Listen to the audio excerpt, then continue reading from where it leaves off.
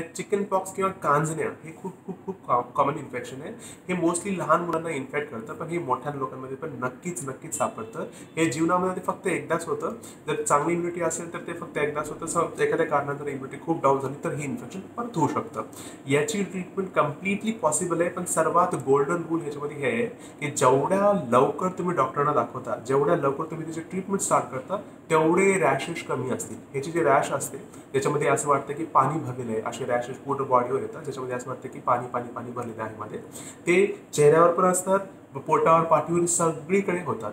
जेवढ्या लवकर तुम्ही त्याची ट्रीटमेंट सुरू कराल तेवढेच रॅश कमी राहील. जेवढ्या उशिरा तुम्ही ट्रीटमेंट सुरू कराल तेवढेच पूर्ण बॉडी भर रॅश पसरलेली असतील. केसामध्ये सगळीकडे ते रॅश येतात.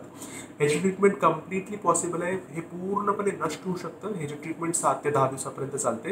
याच्यासाठी असायक्लोव्हिर नावाचं मेडिसिन दिवसातून पाच वेळा घ्यावं लागतं किंवा व्हॅलसायक्लोव्हिर नावाचं मेडिसिन दिवसातून तीन वेळा घ्यावं लागतं. व्हॅलसायक्लोव्हिर एक बेटर ऑप्शन आहे कारण त्याची ट्रीटमेंट त्याची इफिकसी त्याच्यापेक्षा जास्त आहे असायक्लोव्हिरपेक्षा हे दोन्ही पण मेडिसिन्स खूप कॉमनली कुठेही भेटून जातात.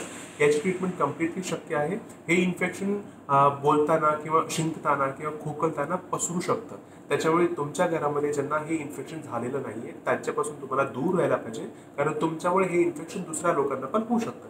ज्यांना हे ऑलरेडी इन्फेक्शन होऊन गेलेलं आहे त्यांना हे इन्फेक्शन परत होत नाही. त्याच्यामुळे याची ट्रीटमेंट सहज शक्य आहे जेवढ्या शक्य आहे तेवढ्या लवकर तुम्ही डॉक्टरना दाखवा जेवढं शक्य आहे तेवढ्या लवकर त्याची ट्रीटमेंट सुरू करा. अजून एक गोष्ट याची जी रॅश आहे त्याच्या फोडाला बिलकुल फोडायचं नाही. जर तुम्ही यांना फोडला तर तो जो खड्डा पडेल जो गड्डा पडेल तो पूर्ण जीवनभर असेल. स्पेशली चेहऱ्यावर जर तुम्ही त्याला फोडलं त्याचे त्याचे जे खड्डे आहेत गड्डे आहेत ती पूर्ण जीवनभर राहतील आणि त्याच्यामुळे कमीत कमी सात ते दहा दिवस त्या रॅशला राहू द्या. जर असेल तर ती स्वतःहून पूर्णपणे निघून जाईल. तुम्ही काहीही नको कार कार करू नका. त्याला खाजू नका किंवा काढू नका.